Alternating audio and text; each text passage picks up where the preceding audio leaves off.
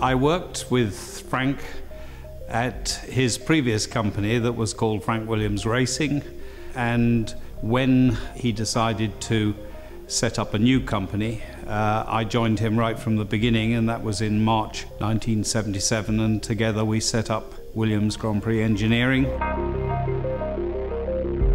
It was um, a small number of people, uh, and I'm sure I was known to get my hands dirty at times.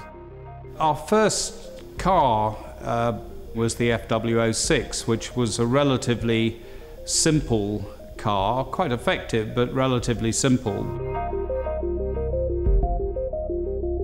We didn't really feel that we were planning for a big future where Williams would have 500 people, uh, but we were very competitive and we wanted to win races.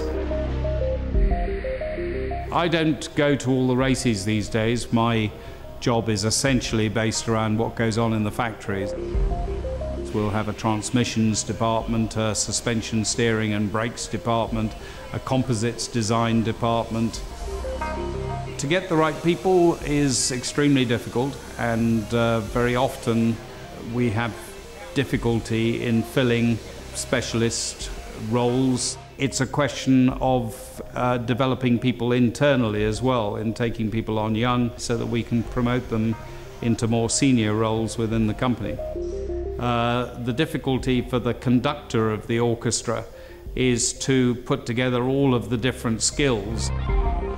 I, I can get quite annoyed with things if they don't go well, but there's no point in uh, expressing that in any outward way. Sometimes I think I, am told I can look a bit grumpy. That usually means that uh, things aren't going well.